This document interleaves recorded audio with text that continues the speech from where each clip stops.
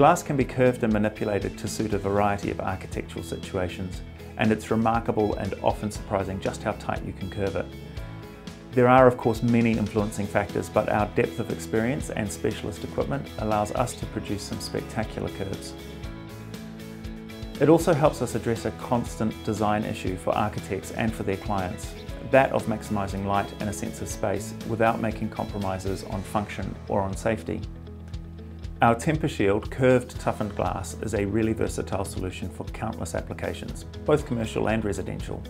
And by that I mean it can just as easily become a residential 12mm balustrade bent to a 700mm radius as it can a large format car showroom window with enormous panes of 2.5 by nearly 4 metres bent to an over 3 metre radius.